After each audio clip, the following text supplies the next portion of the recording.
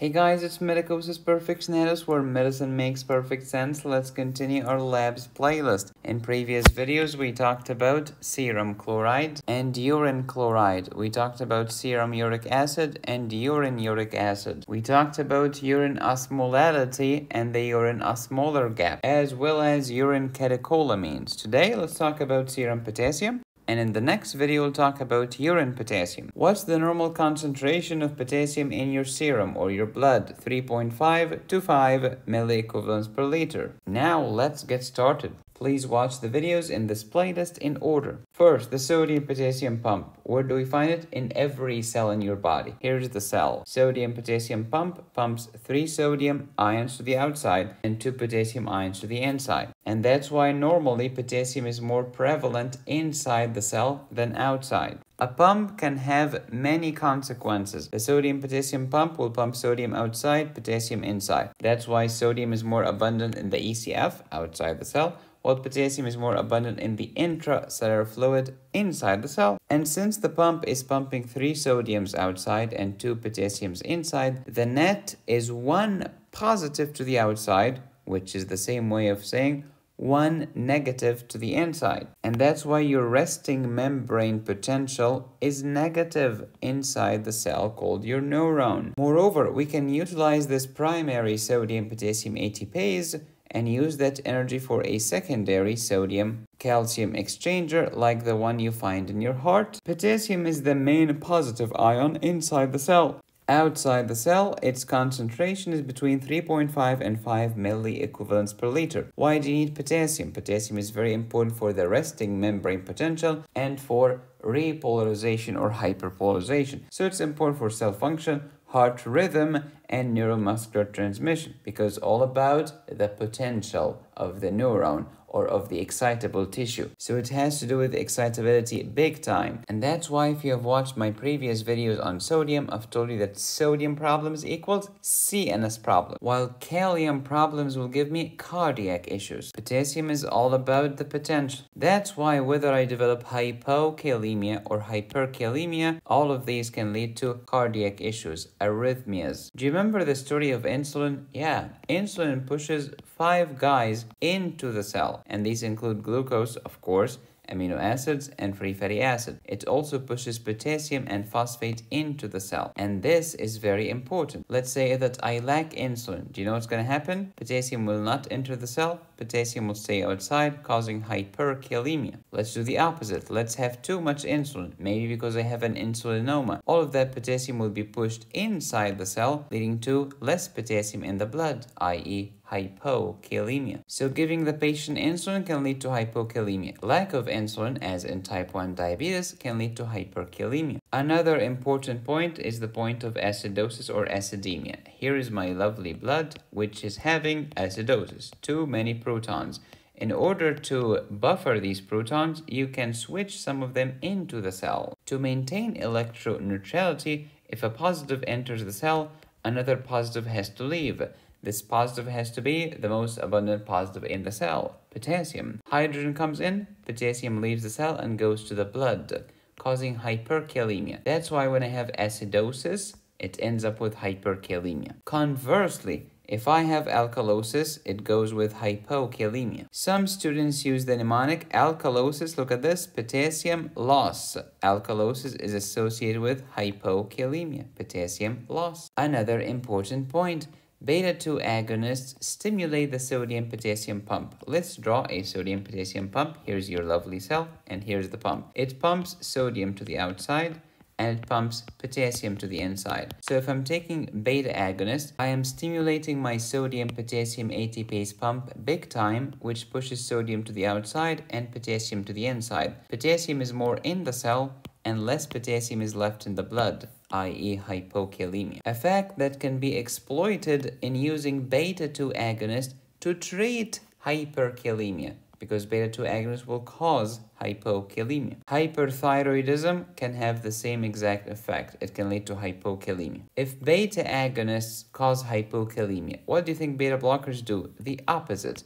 Hyperkalemia because they inhibit the sodium potassium ATPase. What else inhibited the sodium potassium ATPase pump? Digoxin, which means it can lead to hyperkalemia. Next, Conn syndrome, primary hyperaldosteronism. When aldosterone is high, it reabsorbs salt and water, but it secretes potassium and hydrogen. Therefore, if I have Conn syndrome, I am excreting too much hydrogen, leading to metabolic alkalosis. I am excreting too much potassium, leading to hypokalemia. Whether hypernatremia will happen or not depends on the aldosterone escape phenomenon. It's not a given. What if I have the opposite? What if aldosterone is low? Then you get the opposite, hyperkalemia. So when aldosterone is high, potassium is low in the blood, and when aldosterone is low, potassium is high. So let's talk about some causes of hypokalemia. Maybe I have too much aldosterone which wastes potassium in the urine, also in the stool and the sweat. Aldosterone really hates potassium. If acidosis causes hyperkalemia because of the shift, then alkalosis causes hypokalemia. Beta agonists stimulated the sodium potassium ATPase, hypokalemia.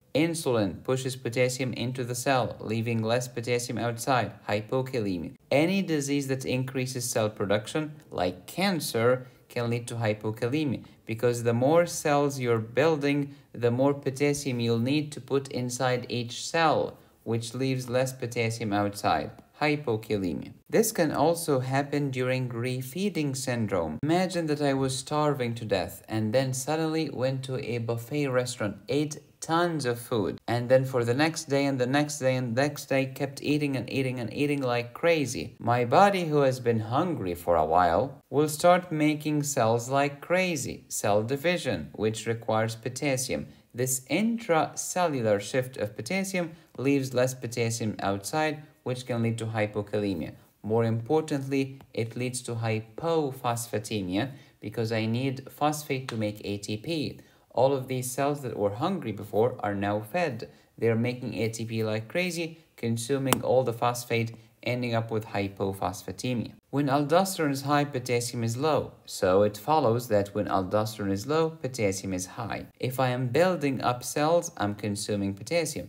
But if I'm breaking down cells, I am dishing potassium out of the cell and into the blood. Because when the red blood cell ruptures, pew, potassium will leave the cell and go to the blood. Similarly, when the skeletal muscle ruptures or when tumor cells rupture, especially after chemotherapy. Acidosis causes hyperkalemia. Blood transfusion. Many blood products contain potassium. Many medications contain potassium as well. Sodium problems, CNS problems, but kalium problems equals cardiac problems. Whether I have hypokalemia or hyperkalemia, arrhythmia can happen and it shows up on the EKG. If you're getting started for hypokalemia, just memorize prominent U waves on EKG, and for the hyperkalemia, memorize the peak T wave. But of course, there is way more than this. For instance, as my hyperkalemia gets worse and worse and worse, I go from peak T wave to wide QRS, sine wave pattern, ventricular fibrillation, cardiac arrest, I can die because my heart stopped during diastole. But hypercalcemia can stop your heart during systole. It's all about arrhythmia and abnormal excitation. Abnormal excitation can happen to other muscles, not just the heart. Muscle weakness, paralysis, irritability. When potassium is too low in the blood, cells will start to sacrifice themselves to bring all of that potassium that was in to the outside, which can lead to rhabdomyolysis. All of these medications can alter potassium balance. Let's focus on the first five. Beta agonists cause hypokalemia. Beta blockers, hyperkalemia. All the diuretics will waste potassium, except the only diuretic that's anti-aldosterone, because aldosterone hates potassium. But if I give a diuretic that hates aldosterone, then we will love potassium so much. Hyperkalemia can happen with potassium sparing diuretics such as aldosterone, eplerenone, triamterene, amiloride. Beta agonists cause hypokalemia, therefore beta blockers and digoxin, which inhibit the sodium-potassium pump, cause hyperkalemia. When ACE inhibitors are given, aldosterone will not show up. Aldosterone hates potassium, but when there is less aldosterone, there is more potassium. Cortisol has weak mineralocorticoid activity. What if I give too much cortisol? Well, then the mineralocorticoid activity goes up. It's as if you're giving aldosterone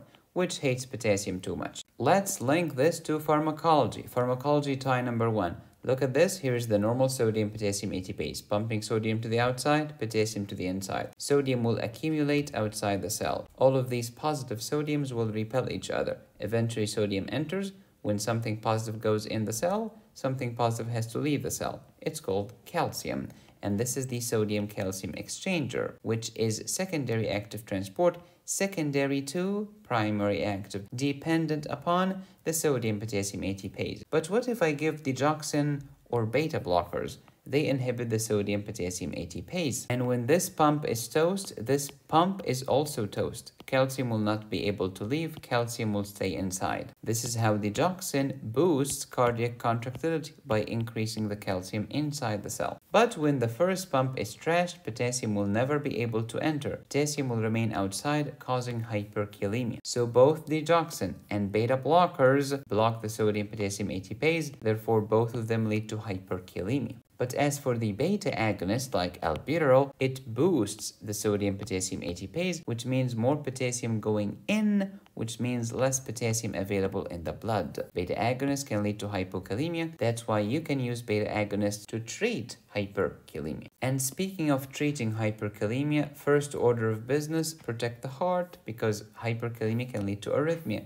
How do I protect the heart? Stabilize the membrane. If you have watched my videos on nerve physiology, I've told you that calcium stabilizes membranes. When calcium is available, it interferes with sodium, and sodium will not enter into the excitable tissue. When sodium is not entering, depolarization is not happening by sodium, so I'm stabilizing the membrane a little. Next, for hyperkalemia, give insulin because it pushes potassium into the cell. But don't forget to give glucose as well because insulin will also push glucose into the cell. If you give potassium without glucose, insulin will push glucose and potassium either way and the patient can develop hypoglycemia. That's why when you give insulin, give glucose with it. All diuretics can treat hyperkalemia except potassium sparing diuretics. Beta agonists, absolutely because they stimulate the sodium potassium pump. Kayexalate is a potassium binding resin. It's a doofus that you take by mouth, it goes to your gut, it tells the potassium you're not being being absorbed today. I am not letting you go. I'm binding you and together we're leaving through the stool. This is how you get rid of potassium,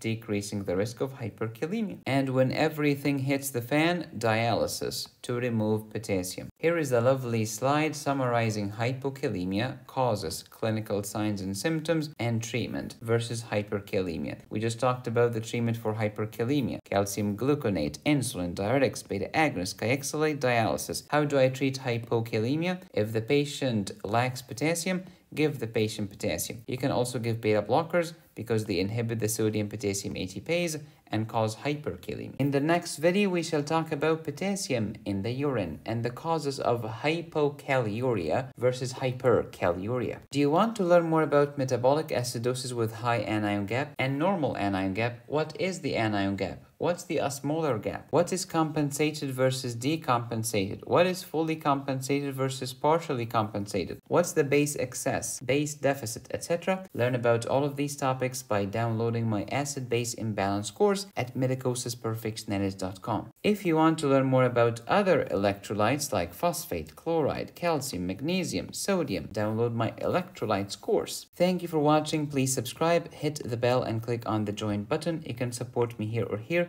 go to my website to download my courses. Be safe, stay happy, study hard. This is Medicosis Perfectionalis, where medicine makes perfect sense.